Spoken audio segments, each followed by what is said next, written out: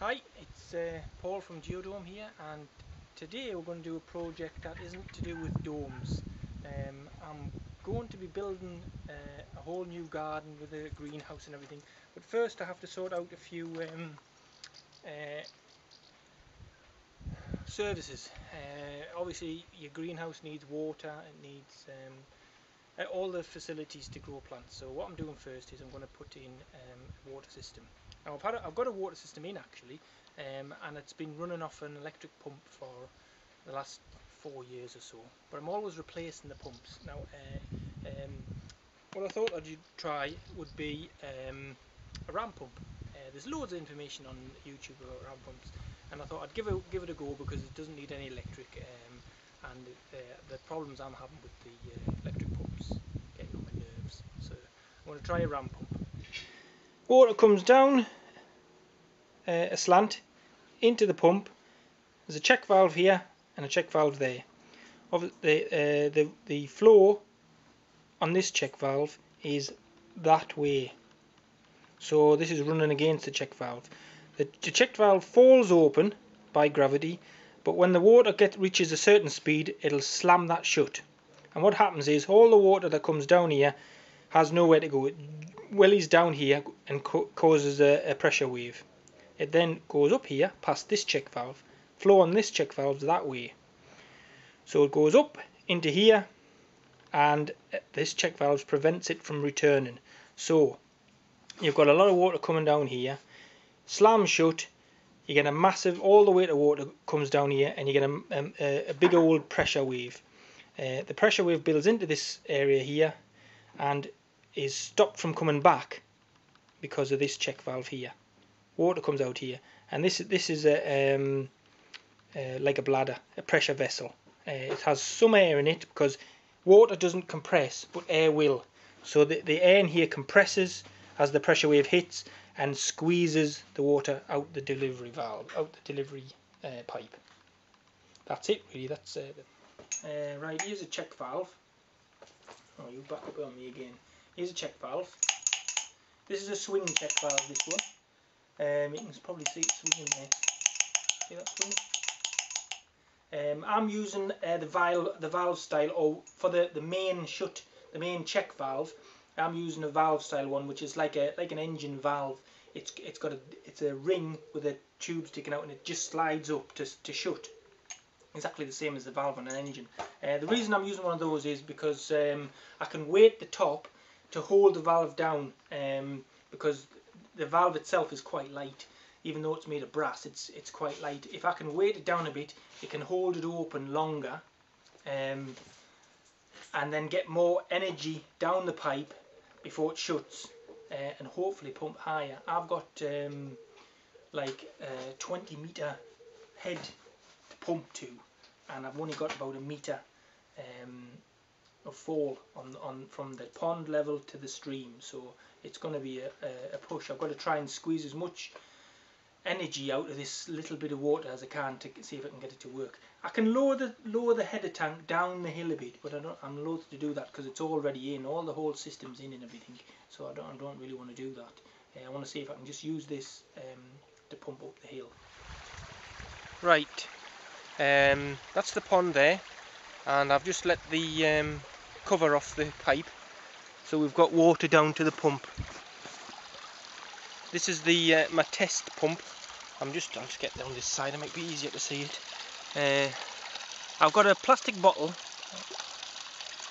on the top here just to uh, make a bit of a, pressure vessel. That's that there. Uh, and I'm just going to run it up and test it and see if we see if everything's working right.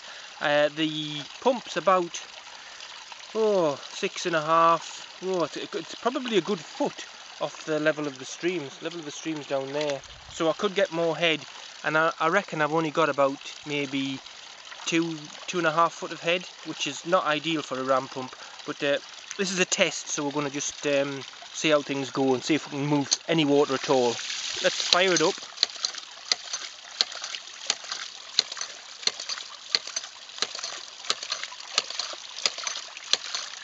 It starts up okay anyway.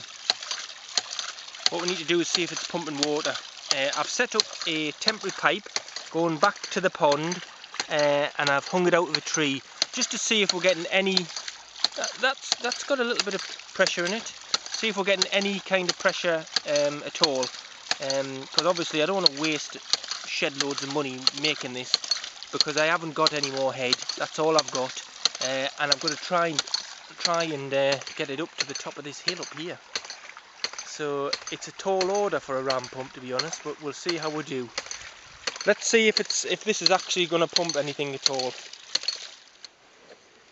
Right I've come up um, above the pond now and you can if you listen you can hear the uh, pump tapping away. And I have it, my, my this is my test pipe test supply pipe uh, and you can see the ponds down there. So about ooh blimey two three meters above the pond.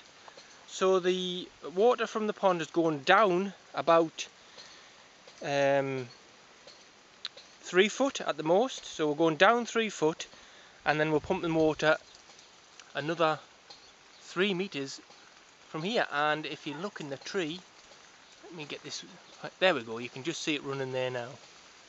It's got uh, it's not it's not a huge amount of water it's basically a trickle. But it's a regular water getting pumped which is kind of what I'm after really. So we'll call the test phase successful and we'll move on to um, changing the pressure chamber to something a bit more professional um, and looking to maybe um, get a bit more head and see if, in a, see if I can pump um, up to the tank at the top of the hill. I've made a couple of changes to the uh, ram pump. Uh, I put a, uh, I'll get down here. I put a pressure vessel on and I've also uh, put a weight see that there it's actually a, brass candlestick um, that I've soldered to the uh, top of the check valve to give it a bit of weight so that it holds the, check valve open a wee bit longer. To get a bit more um, speed in the water. Um, and I've also increased the length of the pipe. I've got about maybe six meters of dry pipe. But was, and I've got as much head as I possibly can. I've dropped it as low as low down as I can into the stream.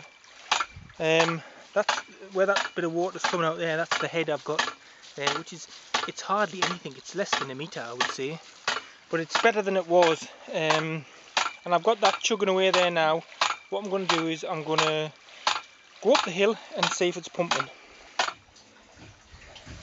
Here's the tank at the top of the hill. Just pull this out a second. There we go. You can hear it thumping. We've got a wee bit of water coming out. Not a hell of a lot, but uh, this is half full in about a couple of hours. So that's quite pretty amazing actually we are um, I would say at least 20 meters above the the ram pump now um, people say that you can usually pump 10 meters up for every meter drop. 10 to 1 this is double that. And it's not pumping a lot of water um, but it is still working. So I'm pretty pretty chuffed about that. Right let's have a look at the uh, pipe. There we go. We've got uh, that's the plenty of head there. Plenty of pressure I should say we've got good pressure on the system because we, are pumping right to the very top and uh, that's working great. So uh, that's ready for to be piped into the greenhouse that is